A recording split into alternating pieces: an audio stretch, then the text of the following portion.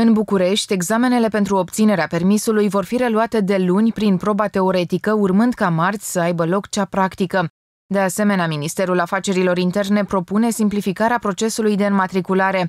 Astfel, ministrul Marcel Vela a declarat toți dealerii de autoturisme din România, inclusiv producătorii, vor avea posibilitatea să înmatriculeze direct autoturismele noilor proprietari printr-un simplu document, un mandat pe care cumpărătorul îl încheie cu vânzătorul.